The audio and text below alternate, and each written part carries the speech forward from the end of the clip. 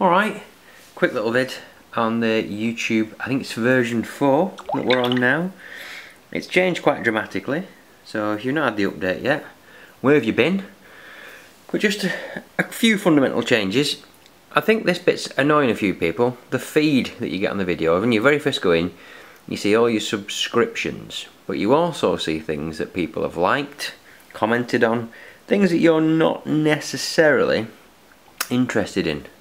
So the way to get around that, that you can just see subscriptions in this feed after a little bit of experimentation, you may have noticed these days when you subscribe to a video, or a, a YouTuber, there's two little radio buttons. One is all activity, the other one is uploads only. So if you subscribe to your uh, subscriptions a long time ago, it'll automatically deduce that you've gone for all activity. So the only way I can see around it is to unsubscribe if you're seeing everyone's activity, resubscribe, but this time select uploads only and you will see just uploads in this list. I haven't done it yet because I don't mind seeing certain people's other bits and bats and whatnot. So yeah, this is my subscriptions in this list here for this account. I have three YouTube accounts on here. Uh, here we go.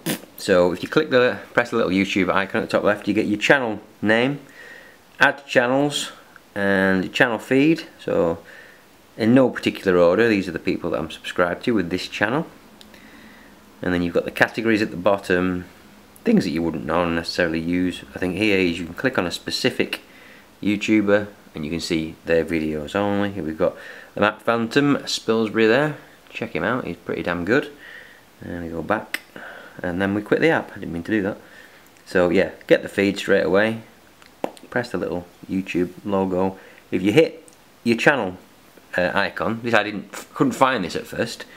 You've got your history, your uploads, playlists, favourites and watch later and you can see your subscribers and your uh, video views at the top there and if you hit sign out at the bottom under the menu if you've got the three dots this is the generic intro you would get without actually being signed into an account where they just choose things for you they think you might like and then when you hit sign in you choose whichever account it is this is my opinionated review review account so yeah, it's not drastically different. Uh, it's quite nice having this sort of slide. I think that, again this is more of a tablet feel to it, but um, it is quite nice.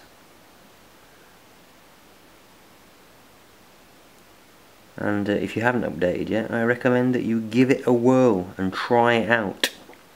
But yeah, just a nice quick one, and I think that tip's quite essential. Well, not essential, but if you want to clutter, uh, clutter, clear the feed that you get at the start, let me get back to it actually.